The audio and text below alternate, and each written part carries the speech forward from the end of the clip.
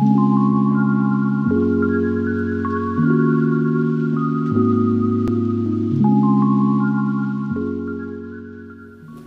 guys, welcome back to our channel Learn with Payal.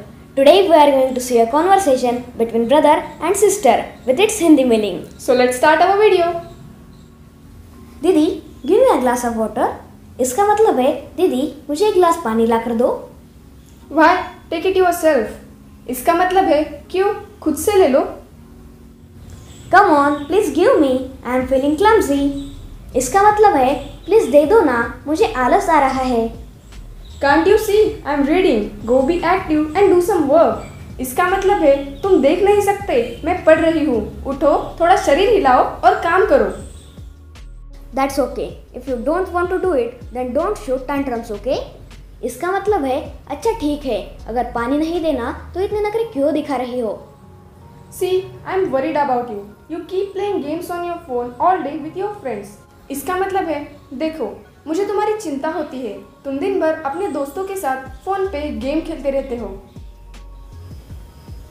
I don't feel like working and also feel clumsy इसका मतलब है मुझे काम करने का मन ही नहीं होता और बहुत आलस आता है। If you keep sitting idle all day, obviously you will feel clumsy. If you do exercise, you will feel energetic and rejuvenated from inside.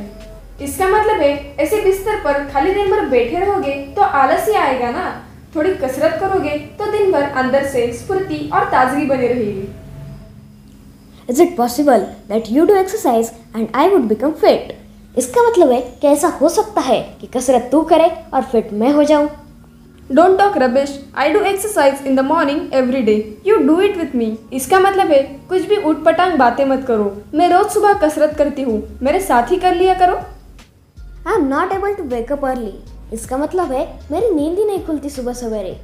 How can you when you play games all night change your habit इसका मतलब है रात भर game खेलोगे तो नींद कैसे खुलेगी? अपनी आदत सुधारो। Okay don't give me a lecture इसका मतलब है अच्छा ठीक है अब प्रवचन मत दो तुम. I am just guiding you rest is your wish इसका मतलब है मैं बस तुम्हें समझा रही हूँ बाकी तुम्हारी मर्ज़ी है. Hey my lovely sis I am just joking you got upset sorry इसका मतलब है अरे मेरी प्यारी बहना मैं तो बस मज़ाक कर रहा था तुम तो उदास हो गई। सॉरी यार. Fine then be ready for exercise tomorrow on the terrace इसका मतलब है चलो ठीक है फिर तैयार रहना कल छत पर कसरत करेंगे। यस ऑल राइट इसका मतलब है हाँ ठीक है।